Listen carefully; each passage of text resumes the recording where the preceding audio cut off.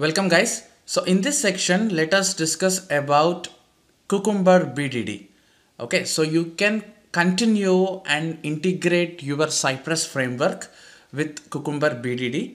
So this is one of the requirement where clients may ask to convert your framework in Cucumber standards. So let's see how can we do that. So before that, first you have to understand what is Cucumber and why do we need to uh, what is the necessity of using it in our framework okay? So for that i would just go with a keyword cucumber in google. So this of course is a vegetable. Don't worry about it. And this is the one what we are looking for. Bdd testing. So here you can describe your test case in form of a behavioral okay? So here if you see uh, this is one test case but the way we are writing this test case looks something like this. Given Alice is hungry, when she eats three cucumbers, then she will be full. Okay. So your automation test case is to check whether Alice will be full if she eats three cucumbers. Right. So you should design test based upon your browser interaction. When you write that, that looks something like this. Let's say you have written some test cases. Um, let's pick up this right? This looks so technical right? But a client or an end user if they want to know what exactly you automated they can't understand by looking at this. So of course they can get some sense like using page object style that we have given nice user friendly methods but still there is somewhere uh, business scenarios are missing. Like what exactly this test case do? Instead your test can be described in this behavioral driven style. So this syntax we call as a Gherkin syntax. Okay. So basically what you have is given and when you perform some action then what is the result outcome. So you should describe your test scenario like this and link these lines with your actual code. Now for example, um, we have actually automated this end-to-end web page, right? So let me go to that web page again and see what we have done from business point of view. Um, second one. Sorry, not this. Yeah, so we started from here, we filled the form and we shopped few items we added them to cart and finally we checked out. We validated total is matching and then we chosen the country and we have placed our order right? So this is the business scenario and we are looking for success message. This is what we automated. So same thing uh, you can give something like this in a cucumber style. So this is a gherkin syntax. So they force us to follow some syntaxes look at here. The same test case of from cucumber style I would like to represent like this. Given I open e-commerce page right? So this is our page. Given I landed here. So this is what your current state what you have before you actually execute right? When I add items to cart right? This is what you did. So you add items to cart and then and validate the total prices so here given is one keyword ex which explains current situation. When is the what action you are performing. And if you think you have multiple actions, then you use end concatenation to describe your actions. Like you add items to cart and you also validate total prices. And once you are good with that, then what you want to do ultimately, select the country and submit, right? This is what you want to ultimately validate that when you add items to cart, if you are able to select the country and submit. Same thing we have done here, but this is a business representation. And Cucumber strictly says that follow their syntaxes, like what is scenario name. Feature represents a test suite. Okay, a test suite can have multiple test cases, right? Each scenario represents one test case. Okay, so here you can write uh, scenarios like uh, um, checking e-commerce confirmation page. That's our test.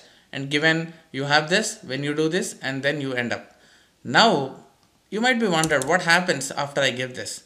Now what you should do is, you have to link this description, this theoretical description with your actual code. okay?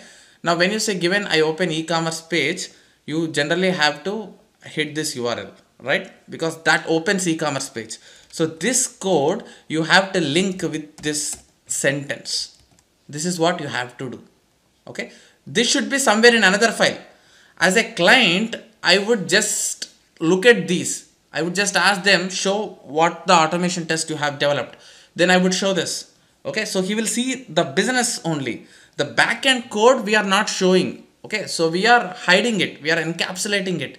And we are just coming up with another interface. Okay so we are not making any changes on your existing framework only. We are adding another interface as a front end so that one can read this and understand what exactly your test case is doing. And ultimately we should tie up all the code with these lines.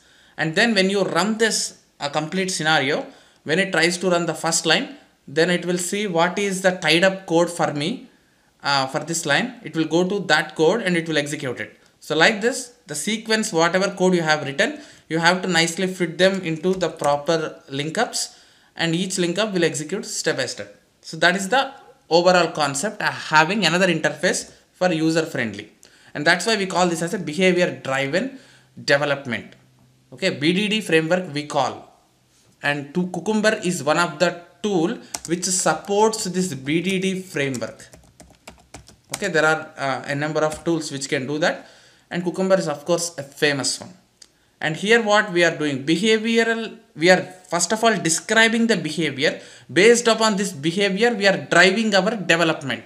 Okay development is nothing but writing the actual code and linking it to your behavior. So that's why we call them as behavioral driven development. Okay and cucumber is a tool which supports this bdd framework. So that's why we are going to see this. Now where do you write this actual code. So for that in cucumber there is a concept called step definition. So you should go to this file. Basically all these are steps right? And we should define them. Defining them is nothing but writing their actual code. So that's why you should create one more step definition file and there you should link up this now you might get confused like how would i link up? That link up depends upon the programming language you are using. So different programming languages have different syntaxes to link. Now so cypress is on javascript okay? So what you can do if you want to understand the exact syntax then just type cucumber js and go to their official documentation. They will have some syntaxes showing up how to do all these right? And if you scroll down here there is a step definitions. And here you go now let me take this as an example. When I view my profile so basically when is a keyword? I told you right? Given when then. You should up like this. So while linking up you should write like this. When? You can import uh, this from your cucumber package what you will install uh, in the next lecture. So when? What you have inside. Um, I add items to cart you have to place this I add items to cart as a first argument and in the second argument you have to write a function which will have actual code.